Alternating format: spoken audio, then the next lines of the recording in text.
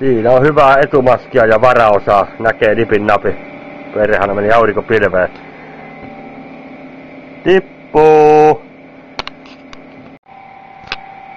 No mikäs se harmaa peto se täällä on? Työkalut mukana.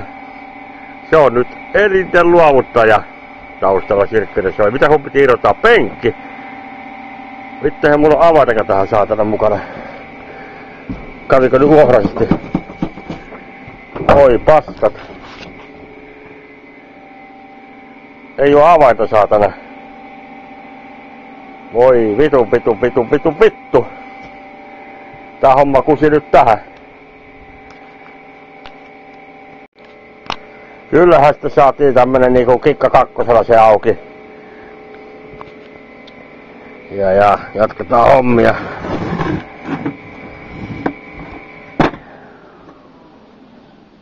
Ja nyt se leikkas kiinni. Ei jumala. Kohta tulee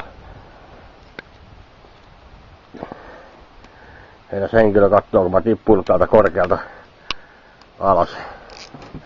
Ei siinä mitään.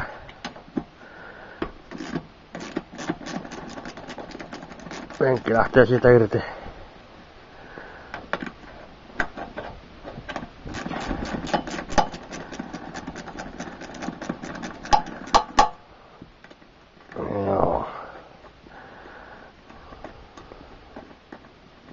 Kaatella mitään muita osia. Ei oo Puolaa. Eikä suolaa. Heti kun tuli reikä. Ei. On uusi penkki siinä. Kelpaa istuskella. Ei tässä sitten mitään.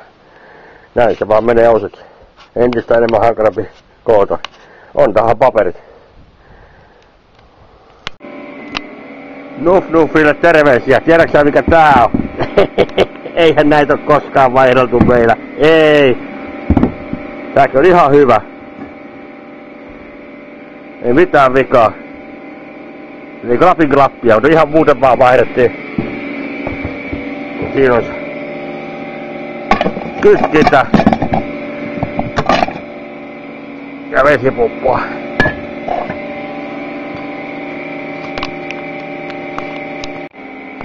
Siitä lisää. Hienot natikan männät. En tiedä sopisiko. Mikähän se oli. 684. Ihan toimivat vielä.